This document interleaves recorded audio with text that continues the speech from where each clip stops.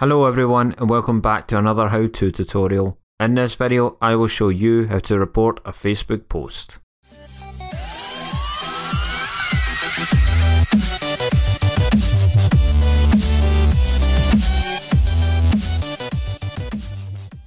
The first thing to do is go to the offending profile.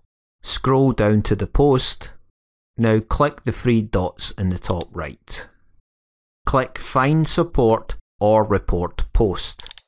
A new window will open. Now select any option from the list. Depending on your chosen option, you may have other options below.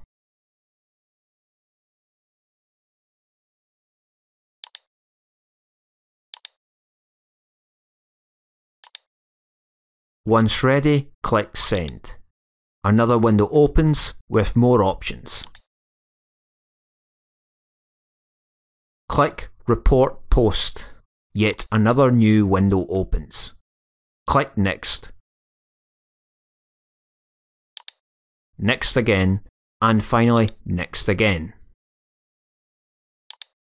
If you still want to report a post to Facebook, click Yes, I'd like to continue filing this report, radio button.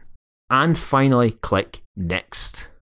As I don't want to waste Facebook staff's time with this post, I will choose I don't know, I'd like to see other steps I can take. Personally, I would just block or unfriend someone causing me trouble, but the choice is yours.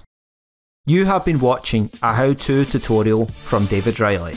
If you like this video, give it a thumbs up and don't forget to hit that subscribe button. To receive notifications about every new video, you can also turn on the notifications bell by clicking or tapping it. You can also leave a comment down below. Your ideas and suggestions are always welcome. Until the next time, take care everyone.